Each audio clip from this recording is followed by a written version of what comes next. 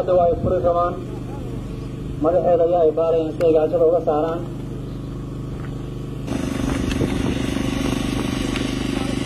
Halka ayaa iyadana inoo hartay waxyaalo kale cajiiba soo bandhigi doonta. Sida waxay soo bandhigayaan calankoodii iyagoo muujinay waxyaalaha la baray. Calanka puntland waxay la soo baxeen soomaaliya.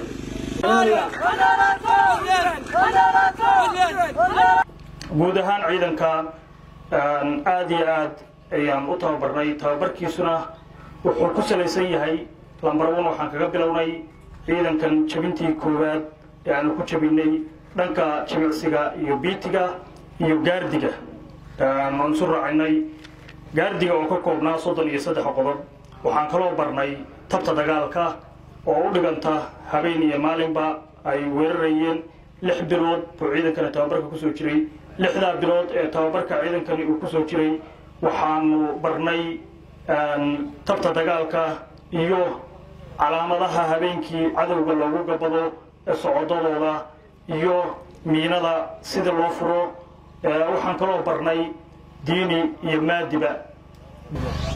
Shalaan kadib maanta waxay noo tahay farxad weyn inaannu idinkala soo qayb galno xidhitaanka tababarkii ka socday dugsiga abqaale oo ciidanka tababarka ku jiray muddo lix bilood ah uu maanta soo gabagaboobay aada iyo aad baan ugu faraxsannaha dufcada tani waa dufcadii toddobaad oo hadda intii maamulka kan dalka hadda hogaaminaya oo madaxda ka yahay madaxweyne siciid cabdulaahi dani hogaaminayey waa dufcadii toddobaad oo ka qalinjabisan dugsiyada tababarka ciidamada daraawiishta iyo booliiska waa dufcaddii toddobaad. Waana barnaamijkii dowladdaani ishordhigtay oo ahayd in dib u habayn lagu sameeyo ciidanka daraawiishta iyo dhammaan ciidamada qalabka sida ee booliiska iyo daraawiishtaba. Barnaamijkaas waa lagu guulaystay ilaa iyo hadda dufcaddii toddobaad baa maanta qalin jabinaysa waana ciidamada maanta jiidaha hore fadhiya. Raggii ka baxay dugsiyadaas. Dugsiga xorgoble dugsiga baran dugsiga kanoo abqaala ah iyo dugsiga godad oo isagana tababarkiisa aan dhowaan xili doonno. Aada iyo aad baanu ugu guulaysanay hawshaa iyada ah. Ujeeddadii dowladdu ka lahayd dib u habaynta ciidanka oo ujeeddada ugu weyne ahayd in la tayayo aqoonta ciidanka. In ciidanka laga dhigo ciidan dowladeed oo ciidamadii ciidan beeleedyadii yararka ah laga baxo in dib u habayn lagu sameeyo dhismaha ciidanka. Iyo ugu dambaystii in ciidankaa tababarka dhammaystay xuquuqdooda mushahar iyo raashinba kor loo qaado iyo daryeelkooda caafimaadka barnaamijkaas buu ahaa barnaamijkii dowladdu ishordhigtay waana ku guulaysanay. Maantana dufcaddii toddobaad baynu u xiraynaa tababarka. Aada iyo aad baanu arrintaas waxaanu aaminsannahay inay waxtar weyn iyo qiimo weyn ugu fadhido ummadda reer puntland iyo dhammaan ummadda soomaaliyeed. Waxaanu la dagaalamaynaa cadow fara badan oo ku soo duulay dhulkeenna oo magacyo kala duwan leh baan la dagaalamaynaa. Meel kasta ha ka yimaadee puntland waa hooyadii dowladda federaalka ah. Waad og tihiin hadda gabayga halka laga tirinayo dhalinyaro tirinaysay waxay ka bilaabatay dugsiga kan iyo dhul tan iyo degmada tan aynu joogno iyo degmooyinka kale ee puntland in dalkii soomaaliya markii uu burburay looga gurmado halakan ilaa iyo dowladdii soomaaliyeed la geeyo villa soomaaliya oo calankii dib looga taago. Halkaaday ka bilaabatay. Deegaamaday ka bilaabatay weeye muddadaas labiiyo labaatanka sano ah ee puntland dhisnayd waxay ku mashquulsanayd dhismaha dowladda soomaaliyeed si ay u hirgelin lahayd. Cadowga faraha badan ee ummadda soomaaliyeed leedahay baanu dagaal kula jirnay. Xaqiiqadii markii laga hadlo abaalkay mudnayd puntland ilaahay hortii waa ka helaysaa laakiin aad iyo aad baad moodaa inaanu weli u saluugsannahay qaabka wax loo wado. Waxay noo tahay maalin ka mid ah silsiladii farxadeed ee quruxda badnayd ee muddooyinkii ugu dambeeyey aynu ku dhex jirray oo ahaa inaynu ciidan tababar u furayno ciidan kalena aynu tababar u xirayno isdaba jooga baynu weli gudaha kaga jiraa waxaynu si kooban u daawannay gaadaciyaarkii iyo soo bandhiggii tagtiiggii ciidanka la baray oo waxaad u qurux badan ahaa. Muddadii ciidanku halkan ay ku jireen waxaa muuqata inay ka faa'iidaysteen fursadda ay heleen dugsiga kan ku habboon tababarka ee abqaa leh iyo tababarayaal iyo maamul ku habboon in ay layliyaan ciidan lagu hadlayn karo difaaca diinta dalka iyo dadkaba. Waxaan rabaa laba kelmadood oo kooban inaan halka ka idhaahdo si aan uga faa'iidaysanno wakhtiga maadaama ciidanku ay cadceed iyo ay joogaan iyo milic ujeedka laga lahaa dibuhabaynta iyo reformka ciidanka. Ma rabo inaan wakhti badan aan ku lumiyo goobo badan oo aanu ama tababar furaynay ama aanu xiraynay baanu kaga hadalnay. Ciidankuna waa warqabaa keliya waxaan rabaa halkaa marka inaan tilmaamo maanta waxaynu maraynaa risaltigii iyo nataa'ijtii ciidamadii la tababaray inaynu guranayno oo la taabtay. Waddanku ciidan waa lahaa qaybtoo tababar waa qabeen laakiin arrintani waxa ay dhalisay in ciidamadu ay noqdaan ciidamo isku dhaf ah oo puntland sagaalka gobol ay ka kooban tahayba la ysku dhafo oo ay noqdaan ciidamo isku dhaf ah oo gobollo kala fogfog oo aan aqoon ka soo kala jeeda. Kow waxaa kaloo soo baxday in uu ciidanka daryeelkiisa oo yaro hooseeyey in kor loo soo qaaday oo ay maanta xuquuqda ciidanku ay dhammaystiran tahay daryeelkoodu uu dhammaystiran yahay iyagu ay qanacsan yihiin familadii iyo guryihii ay ka yimaadeenna ay qanacsan yihiin iyo deegaanadii ka yimaadeen waxaa kale oo ay dhalisay tababaradu inay noqdaan tababaro ka tayo wanaagsan. Tababaradii aynu horey u qaadan jirnay. Dugsigan aynu haddeer joogno tababarkan haddeer lagu soo afmeeray. Waa tababar waxaa laga yaabaa inay ka horreeyeen dhowr iyo toban ama dhowr iyo labaatan tababar oo xeradan lagu soo xiray.